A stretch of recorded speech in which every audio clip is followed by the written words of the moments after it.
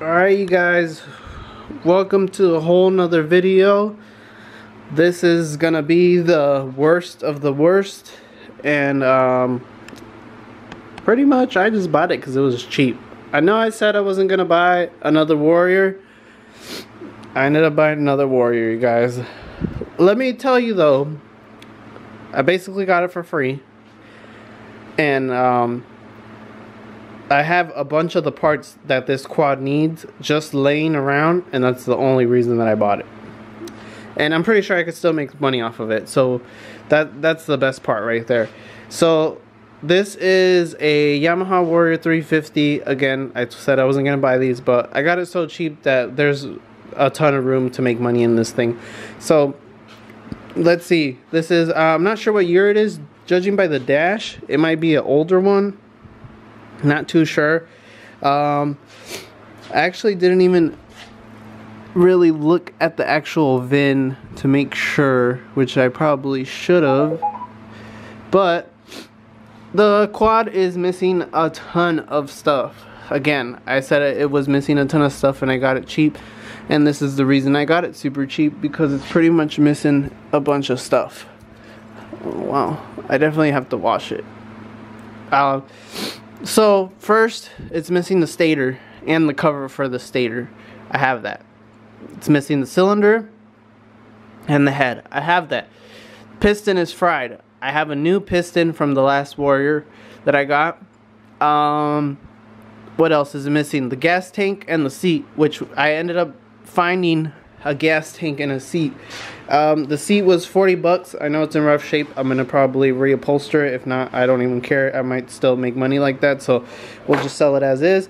The gas tank with the gas cap and the petcock, I got it for 15 bucks. Smoking deal already. Um, but I mean, everything's there that I needed to be there that I didn't want to have to track down. So the levers, the dash, um, the wiring harness, the bottom engine, and I looked at the crank. That was the first thing I did because you know, you guys know we have a bad crank. Um, so I got a new crank, and um, well, it, it, has a good crank. I mean, and the other crank that I have is bad. So that was my biggest worry, um, and that's the only reason I pretty much did end up getting it because judging on the crank. Um, so yeah, we're missing the, the battery, the front plastics. I have those. I have the blue plastics that I, I was going to... I posted up for sale. Nobody's picked them up. We're going to throw them on this bad boy. Um, oh, yeah, this was the only thing that I was missing for my blue plastics. I bought it at the junkyard. I got this stuff at the junkyard. Um, it was 15 bucks, which the gas tank ended up coming with the black one. Screwed up on that, so I lost $15. But no big deal. Um, it's missing a battery. I have a spare battery. Um, it's missing the headlights. I don't really care about headlights. Headlights you can find universal ones for like 20 bucks. eBay. All day, every day. That's no big deal to me. Um, it has a front bumper, which I'm going to steal. I'm to keep that, and I'm just going to sell it with no bumper. Uh, the also, it has like a nice ass undershield. I'm going to take that off and keep that. Um, tires are trash, but that I'm selling it as is. I'm just going to air them up, make sure they don't leak. Uh, the CDI is missing. I have a CDI, spare one. Um, what else? I think that was it. The light, I have a spare light. So, let's go over here. This is um, the parts that I had just laying around. Also, it's missing the carburetor. I have one. The only thing so far that I don't have is a tensioner for the timing. The little gold piece that holds on to the the carburetor. I actually might have one of those. I'm not sure. I might might have one. I need to look. Um, so the head this is the old crusty head. As you guys remember? This is the old crusty cylinder. I'm gonna see if I can revive these man. If not I will put it together and sell it as is. Uh, the only other thing I'm missing so so the the little pin for the the carb that holds the throttle cable, the tensioner, head bolts, and um, I think that's it. The header pipe I was missing. I found that also at the local junkyard. I think it was like 40 bucks. So already I'm into it like about a hundred dollars. That's it. Um, had an air box. If you guys remember from the last Warrior, I'll make this work. I have the air cage, which I was going to return. Good thing I didn't return. So, and then I have oil. Here's the spare parts that go to this. Uh, I had a top end. Here's the new stator with um, new gaskets. The new I have a new gasket kit. Here's the stator cover. Um, I think that is all I'm missing at this point. Uh, I still today I'm pretty much going through it and I'm gonna figure out what else I do need. So let's go ahead. Oh, and uh, CDI I have had the CDI too. So pretty much that's it, you guys. Um, so I'm gonna rinse everything off because it smells really bad. I think like dogs peed on it or something. I have no idea. It smells bad. And I'm gonna rinse out the inside of the engine somehow. Uh, I might take it out. I don't know. I might have to take it out to put it together anyways. Uh, if you guys remember last time, I had a huge problem putting in the head bolts on this thing, so probably have to do that. But yeah, I'm gonna wash it real quick, and then we'll be back, and we'll start going over uh, the cylinder, if it's gonna fit with the piston, and see what else we have that we need to buy, or what we have and what we what we don't have, and what we need to buy. All right, so I'll be back. Alright you guys, so I got a quick update here. I uh, ended up cleaning this up as best as I could. As you guys could tell, I mean it does look 10 times different.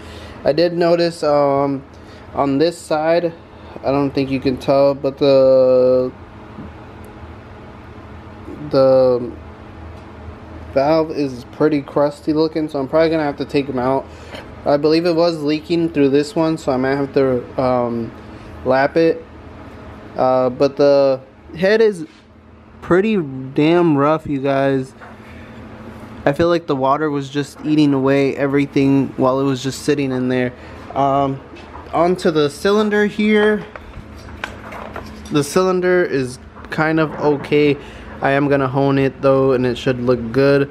I put the piston um, ring in there to just try and see, you know, like how it was going to look and um, it looks like it's still it's basically over it overlaps on the edge of the pistons there's one that goes on top of the other one when I put it in there so that tells me that it still has like a good amount of you know uh, corrosion or whatever you want to call it on there so I'm gonna hone it and then we're gonna take a final end gap um, reading and see how far it is I think it's supposed to be 0.20 to 0.40 and it's in spec um, just the oh, just the head though. It kind of worries me. Um, as you guys can see, there might be like some leakage, like right there. It's pretty, it's pretty bad. Um, I mean, maybe I could fix it a little bit, but it is definitely, definitely worn. Um, I'm hoping maybe we could get away with it. So at least this piece, it goes inside. So the main thing we have to worry about is this. Because now that I think about it, I think that the other head on the other warrior, the one that the teal and red one, it had something like this too, and it was worrying me as well. But it ran fine. Um, so I guess that leaves me not to worry about anything. But let's just see if we can make it a little bit better right off the bat here. So I got my sanding block here. So this is what I do with all the heads. I got this foam piece um, from where I work it was like for, you know, to cover and protect something so it wouldn't move around in the box. And I have a couple of them that I took and pretty much this is what I do. So it's a nice even surface that it's sanding over and then um, pretty much that I at least know you know it's gonna be all evenly sanded down and you can after doing this for a little bit you can pretty much check to see if there's still high spots or if there's any low spots like right there it's a little nicked up sorry you guys I have a runny nose so I have the handkerchief the bandana there but I'll do this a little bit and it should be alright yeah I mean see now now it doesn't look that bad but this I mean you guys this is gonna be hard for me to fix in here. The valves are pretty shot up. Um, I might just check to see how much new new valves would be, but then it's like I, I, can't put new valves on a old crusty head, you know. I don't know. I'm gonna have to check it out, but I'm gonna hone that. But I just wanted you guys to see the before and after. I cleaned everything. Come on, focus. I just wanted you guys to see the the before and after how I showed you guys how bad they were. I mean, this is still a little crusty too but I mean, compared to how it was before you guys, it was like, there was chunks in there and everything, you know what I mean? So I'm to hone it and then hopefully we can knock down a lot of this. I did scrape it and sand it a little bit already, but obviously I'm to hone it and make it look good for the new piston. So let's do that and then I'll get back to you guys. Still using the Harbor Freight one for that I bought for 30 bucks and it's been working awesome. All I do is put like any type of oil really that I have laying around just to lube it all up. So if you guys could tell, it's a little bit better. I haven't even cleaned it. So I'm gonna clean it right now so you guys can see the difference. Hopefully there isn't a huge difference and there's not like chunks still there. If there is, I might just keep going at it. Oh, you guys, it's like 10 times better. I think it's still rough. Yeah, it's pretty rough, but I think we're to keep going at it, you guys.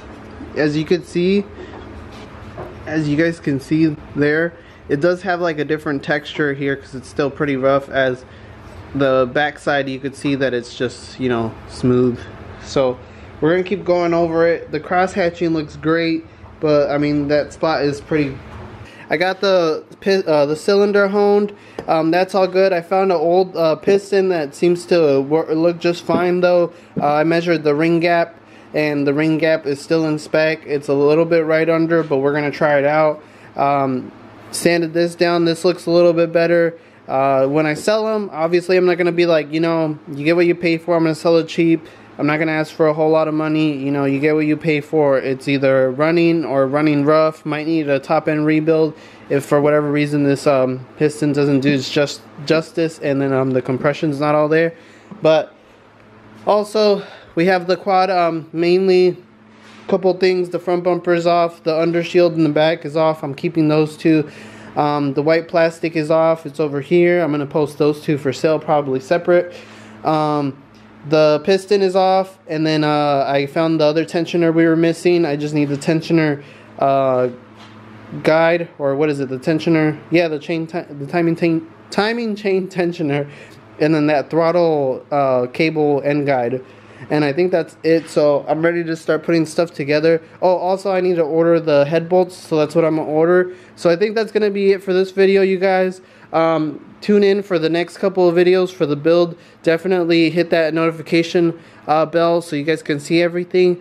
Uh, don't forget, you know, to like and subscribe if you guys are new to the channel. Check out all my videos, great videos. I buy cheap stuff and uh, basically make it running and restore it, look, looking a little bit, you know, as good as I can get it, but it's usually always good because I buy it cheap and it make it look 10 times better and it gets uh, resold or either we use it here but yeah, thank you guys for watching. Don't forget to like, share, and subscribe. Peace.